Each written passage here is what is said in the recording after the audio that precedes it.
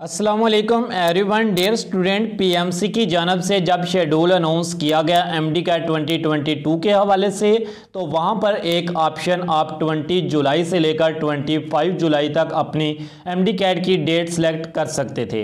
आज क्योंकि 21 जुलाई है तो ये डेट ओपन हो जानी चाहिए थी, ये ऑप्शन ओपन हो जाना चाहिए था। मगर पीएमसी की जानब से इस डेट को एक्सटेंड कर दिया गया।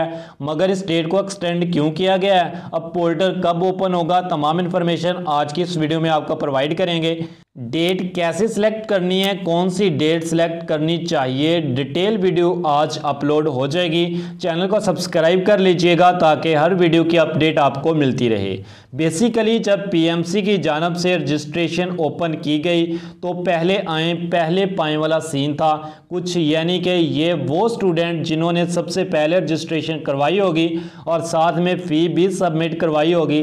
तो उनके पास ये ऑप्शन होगा कि वो अपनी मर्ज़ी की कोई भी डेट यानी कि 13 दिसंबर तक ये डेट सिलेक्ट कर सकते हैं। और 20 जुलाई तक रजिस्ट्रेशन लेट फ़ीस के साथ जारी रही और 20 से 25 जुलाई तक आपने अपनी मर्ज़ी की M D CAT test date select करना थी, लेकिन एज इशू आ रहा था जो अंडर 16 एज के हैं। वो कैंडिडेट जो अंडर 16 एज के हैं और एम डी कैट के रजिस्ट्रेशन करवाना चाह रहे हैं तो पीएमसी ने उन्हें पहले अलाउ नहीं किया था, लेकिन बाद में पीएमसी की जानब से अंडर 16 ईयर के स्टूडेंट को भी अलाउ कर दिया गया कि वो भी एम डी कैट की रजिस्ट्रेशन करवा सकते हैं। जिसमें वो तमाम स्टूडेंट अप्लाई कर सकते थे, जो अंडर 16 ईयर में आते थे। अब इसकी डेट एक्सटेंड करके 25 जुलाई कर दी, जिसकी वजह से पीएमसी की जानब से पोल्टर ओपन नहीं हो सका और इसको एक्सटेंड कर दिया गया।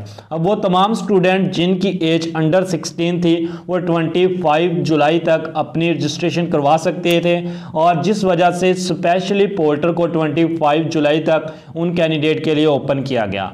जब तमाम स्टूडेंट अप्लाई कर लेंगे, जिनकी उम्र अंडर 16 है 25 जुलाई तक वो अप्लाई कर देंगे। इसके बाद सीट्स देखी जाएँगी। नंबर ऑफ़ स्टूडेंट को देखा जाएगा, यानी कि उसके बाद पोल्टर ओपन कर दिया जाएगा। फिर आप अपनी डेट को सिलेक्ट कर सकते हैं।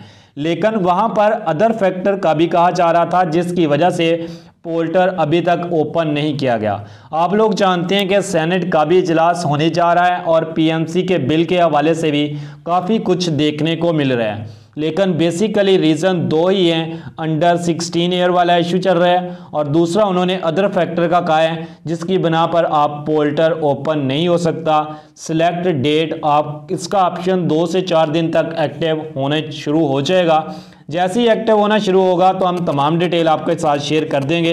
एम डी कैट के हर न्यूज़ पर नज़र रखने के लिए चैनल को सब्सक्राइब कर लीजिएगा बेल आइकॉन को प्रेस कर दीजिएगा ताकि न्यू वीडियो की आप डेट आपको टाइम टू टाइम मिलती रहे। मिलती है नेक्स्ट वीडियो में, तब तक के लिए अल्लाह हाफिज़।